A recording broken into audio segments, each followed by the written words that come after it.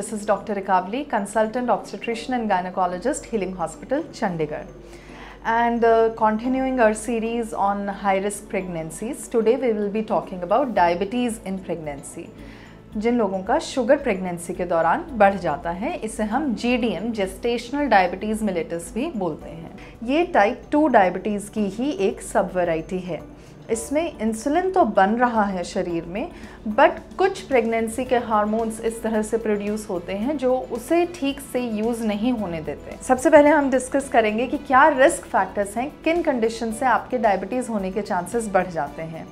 In risk factors में आ जाते हैं ओबेसिटी आपका अगर वज़न ज़्यादा है बीएमआई ज़्यादा है वेस्ट हिप रेशो ज़्यादा है, आपकी फैमिली हिस्ट्री है, आपकी पर्सनल पहले हिस्ट्री है कि आपको पिछली प्रेगनेंसी में डायबिटीज़ रही हो, या पिछली प्रेगनेंसी में ऐसे कुछ हिस्ट्री है कि आपको रिकरेंट अबॉर्शंस रहे हों, या बच्चे में कोई नुक्स आ जाता हो, कोई कंजेनेटल मैलफॉर्मेशन आ जाती हो, या फिर अंदर पानी में कोई प्रॉब्लम आ जाती है बेबी के अराउंड जो वाटर होता है वो बढ़ जाए या घट जाए, या आपका बेबी बिग साइज़ का हो फोर या फोर पॉइंट फाइव से आपका बेबी ज़्यादा हो कुछ ऑटो इम्यून डिजीज़ेज़ होती हैं जिसमें भी डायबिटीज़ के होने के चांसेस बढ़ जाते हैं।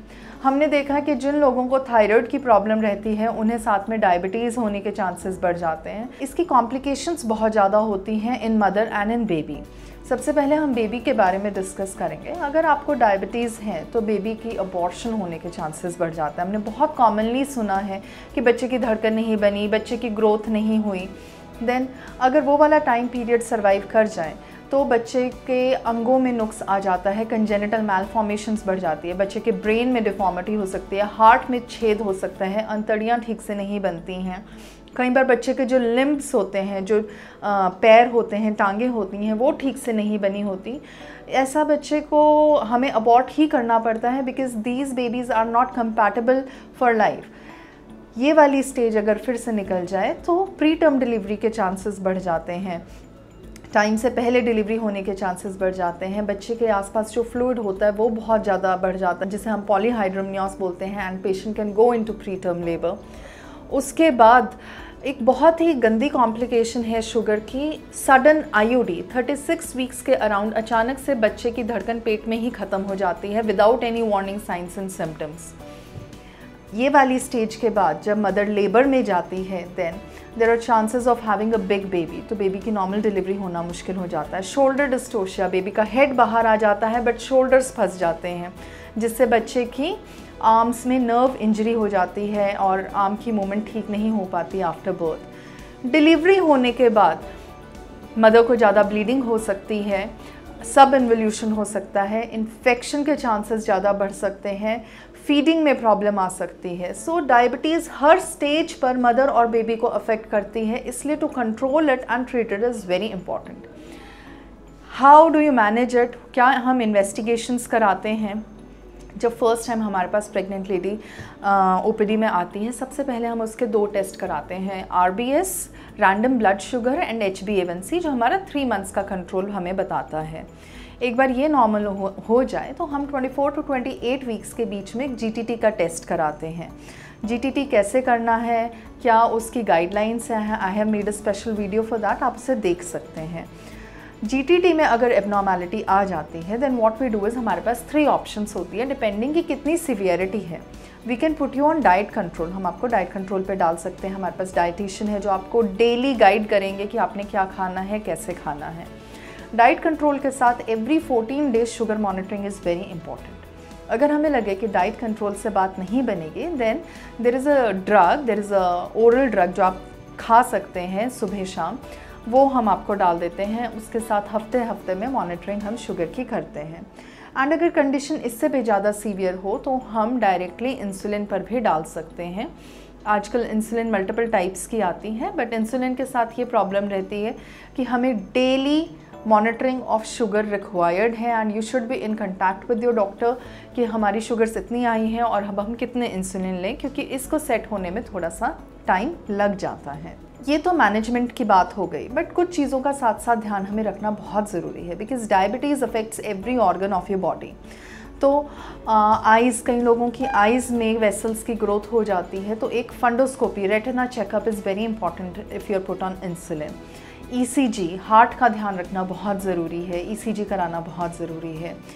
डायबिटीज़ में हमारी नर्व्स ख़राब हो जाती है तो बॉडी से सेंसेशन चली जाती है, खासकर पैरों के नीचे से, जिसके कारण अगर आपको चोट लग जाए तो आपको पता नहीं लगेगा, कोई दर्द महसूस नहीं होगा और वो चोट बड़ी होकर अल्सर में कन्वर्ट हो जाती है और इन्फेक्शन हो जाता है। तो जो भी लोग डायबिटिक हैं उन्हें अपना पैरों को हफ़्ते में एक बार आराम से बैठ के पैरों के नीचे से एग्जामिन करें कि कहीं कोई कट या चोट आपको नहीं लगी हुई है। डायबिटीज़ में usually what we see is कि मदर को पता ही नहीं होता कि उन्हें डायबिटीज़ एंड सडनली जब टेस्ट में डायबिटीज़ आती है दे रेज दिस क्वेश्चन कि हमें तो कोई भी सिम्टम्स नहीं है। आई अग्री डायबिटीज़ के बहुत कम सिम्टम्स होते हैं। Hardly polydipsia polyphagia polyuria three Ps आपको भूख ज़्यादा लगेगी, आपको प्यास ज़्यादा लगेगी और आपको यूरिन ज़्यादा पास होगा। एंड ये तीनों चीज़ें रूटीनली वैसे ही प्रेगनेंसी में सबको होती है।